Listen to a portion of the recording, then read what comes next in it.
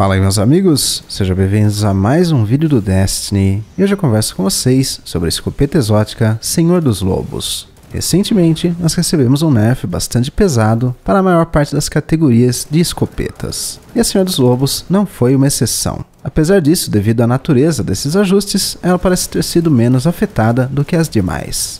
E de acordo com muitos membros da comunidade, ela é atualmente a melhor escopeta dentro do jogo.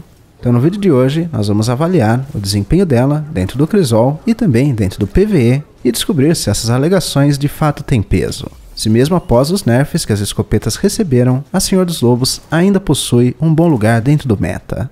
Então, como grande parte desses ajustes foi justamente focado em retirar um pouco as escopetas do holofote dentro do Crisol, é por lá que nós vamos começar os nossos testes com a Senhor dos Lobos. Quero lembrá-los de que o nerf reduziu o alcance das escopetas e também aumentou a dispersão dos disparos. A diminuição do alcance foi em média 1,5 metro a 2 metros, dependendo da armação, e claro, a dispersão é um pouco mais difícil de a gente categorizar, mas isso tornou elas ainda menos consistentes do que elas já eram. Para Senhor dos Lobos, antes dos ajustes, nós éramos capazes de eliminar um oponente com um único disparo a até 12 metros de distância, mas isso já não é mais possível. Agora, nós ainda conseguimos manter esse desempenho, eliminando o oponente com um único disparo a até 11 metros. Então esse nerf no alcance das escopetas parece ter afetado ela um pouco menos. Enquanto as outras armações perderam 1,5 metro e meio, 2 metros, ela perde apenas 1 metro. E além disso, se nós considerarmos esse valor de 11 metros, ele é bastante compatível com escopetas de balote. É claro que o Senhor dos Lobos tem um manuseio muito diferente das outras escopetas. Mas no caso das escopetas de balote, que ainda serão letais nessa distância, elas exigem acertos precisos. E essa não será uma exigência para esta exótica. Além disso, essa arma possui um método alternativo de disparos, que é o Solte os Lobos. Aqui, ao invés de 5 disparos em um burst, nós teremos 10 disparos em troca de um alcance reduzido e de maior dispersão. Dentro do Crisol, este método já não era tão utilizado devido a esta grande dispersão. Com o nerf dentro do alcance, isso se torna ainda pior. Dentro dos 6 metros de distância, nós seremos capazes de eliminar um oponente com um único burst. Mas existe aqui uma grande inconsistência, dada esta enorme dispersão que esta arma projeta neste modo de tiro. Então, repetindo o teste em 6 metros, desta vez eu não sou capaz de eliminar o meu oponente. Então, no meio da ação, o Solte os Lobos não seria indicado para o Crisol, sendo que você terá mais letalidade e mais precisão com o burst regular de 5 disparos. Então é fácil de concluir que dentro do PVP esta arma se tornará uma excelente opção para quem gosta de escopetas a partir daqui. E o outro aspecto que nós vamos analisar é o desempenho dela dentro do PvE. Primeiramente, e de maneira muito breve, eu quero trazer o resultado de duas armas que nós analisamos recentemente. A Espada Gume da Honra, que nos dá um dano no ataque leve de 15.456 e no dano pesado carregado de 52.808, para um DPS com a arma de 37.927. E depois disso, com o lança-foguetes Mal Presságio, que nos dá um dano, somando impacto e explosão, de 71.519 para um DPS de 41.460. Eu quis incluir essas armas porque elas estão nas categorias mais populares para alto valor de dano atualmente no jogo.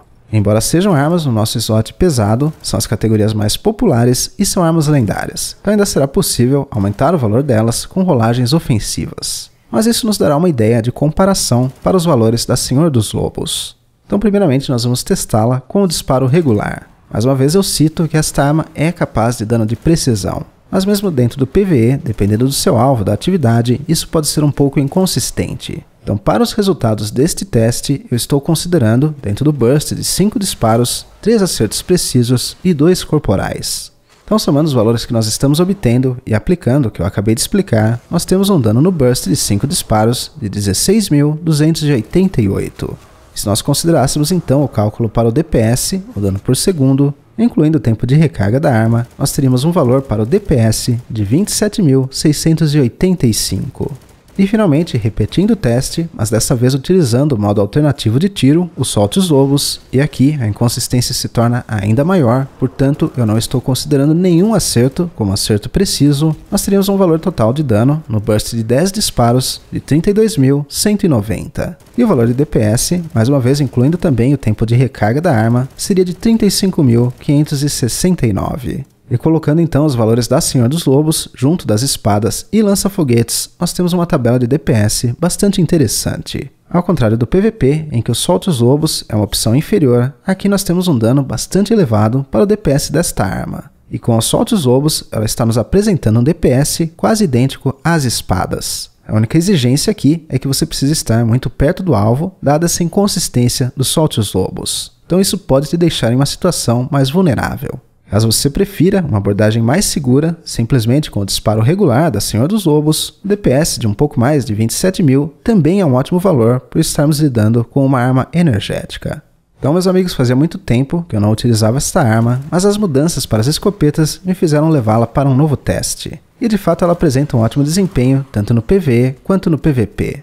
Para quem é um jogador mais antigo do Destiny, você provavelmente se lembra do momento no jogo em que a Senhor dos Lobos dominou o Crisol. Só para deixar isso claro, naquela época o alcance da arma era em torno de 17 metros, 18 metros, o que é um exagero por completo. Então, embora ela esteja em uma boa colocação atualmente, comparada às demais escopetas, ela está longe de ser a monstruosidade que ela era naquela época. Então não há necessidade de a gente temer que aquilo volte a acontecer no Crisol. Embora neste modo de jogo o desempenho dela seja extremamente consistente, no PvE os resultados me surpreenderam. Conseguir este ótimo valor de DPS com uma arma energética, o que ainda livra o seu slot pesado para a arma da sua preferência, que pode ser um lança-foguetes, uma espada ou até mesmo um fuzil de fusão linear, abre muita possibilidade para você aumentar e potencializar o seu dano.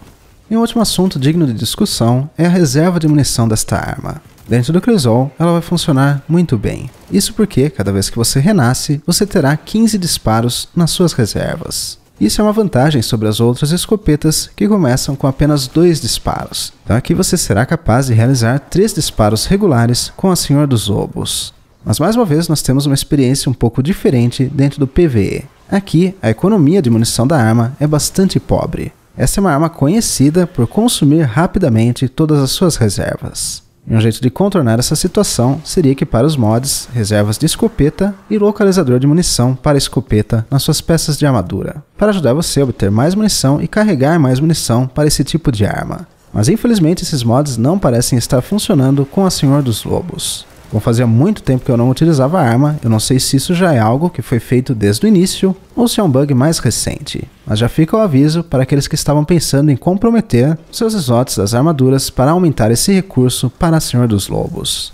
E dito tudo isso, o que nós podemos concluir é que as mudanças para as escopetas parecem ter afetado negativamente menos a Senhor dos Lobos. Apesar disso, ela é completamente diferente das outras escopetas na sua utilização.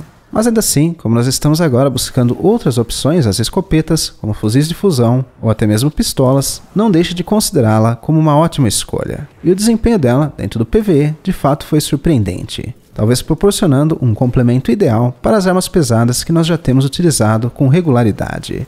Por enquanto, meus amigos, eu agradeço a presença de vocês comigo em mais esse vídeo. Um grande abraço a todos, até o próximo e valeu!